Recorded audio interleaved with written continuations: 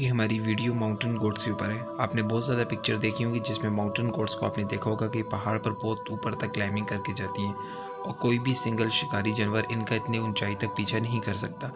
पहाड़ों पर इतनी ऊंचाई पर जाने के पीछे बेसिक रीज़न ये होती है कि जो पहाड़ होते हैं, ये मिनरल के रिच क्वांटिटी होती है इनके अंदर। साल्ट और अदर मिनरल बहुत ज़्यादा अच्छी क्वांटिटी में होते हैं और ये बकरियाँ